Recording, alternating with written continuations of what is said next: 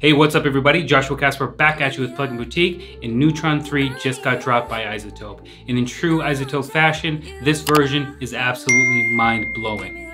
So as per usual, we here on Plugin Boutique are gonna walk you through some of the main features. And in this video, specifically, we're gonna check out the brand new Mixing Assistant. This actually listens to the individual stems of your track and balances the volumes for you. It's, it's gonna blow your mind, trust me. So in this video, I'm gonna walk you through the process, show you how to get started, show you the results, and let you know some tips and tricks along the way. It's all coming up, so let's get into it.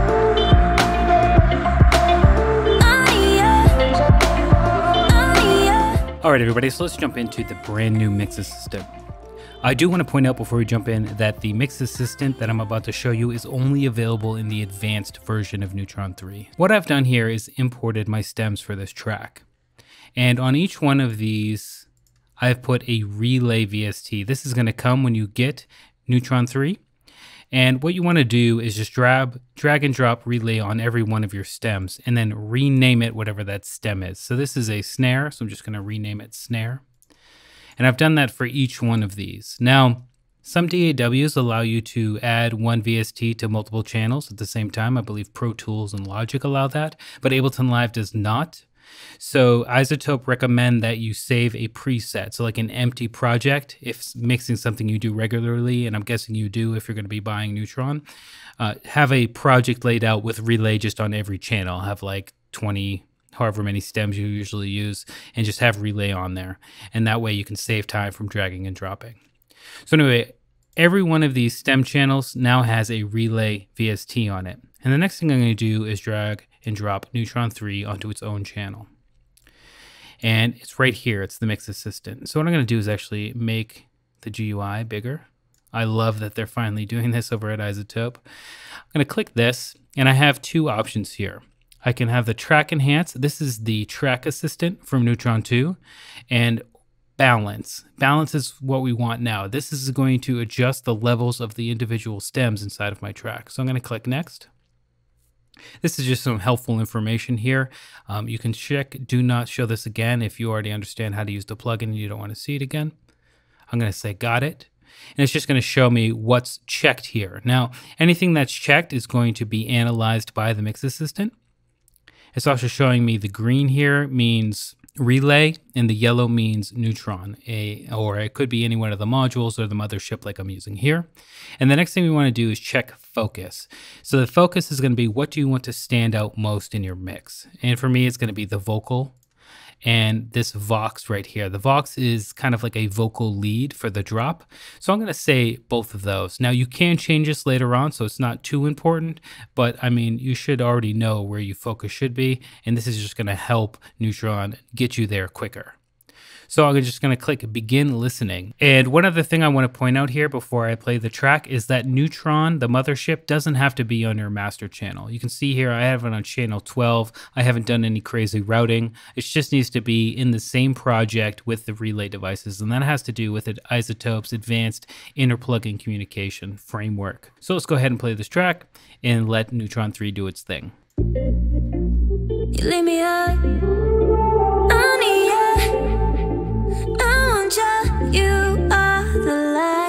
All right, and now we just got to click go to results. And here we have it. We have these five categories of different types of instrumentation, and we have some level adjustments that have been applied automatically. So let's go ahead and bypass this just so we can hear what's going on.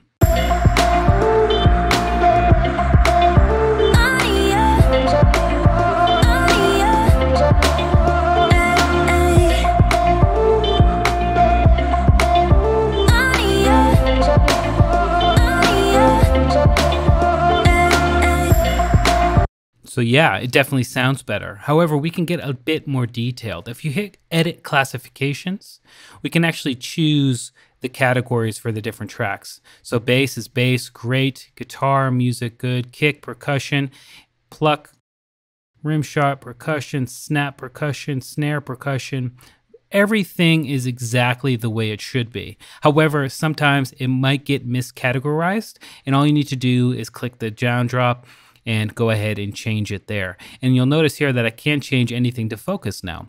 So let's say maybe the Vox part is a little bit too uh, bright for that drop. If I want to come in here and just change it to voice or even musical, and then preview what that sounds like.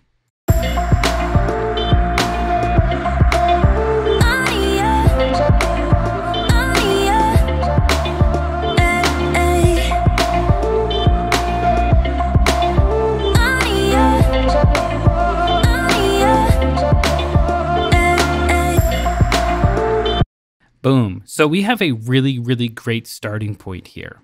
So all I have to do now is click accept and start making any other changes that I want to my mix. It's already balanced for me. So that's the power of the mix assistant, but they didn't stop there. There's something called the visual mixer. This was introduced back in Neutron 2, and you can use that with the relay system as well. So what I'm gonna do now is take the Neutron 2 visual mixer and just drop it on that same channel. As you can see here, it doesn't have to be on the master channel. And now I have all of those relays and I can adjust the gain by going up and down. And if you hold shift and drag up and down, it will lock. You can't go left or right. Uh, that's a helpful hint. We can also adjust the stereo width. So kick, it's probably going to be pretty mono. If I drag all the way in here on these handles, this is mono, this is super wide. And if I go left to right, I can adjust the stereo balance as well. So now I can come in and make further improvements and customizations to the starting point that the Mix Assistant has gave me inside of the visual mixer.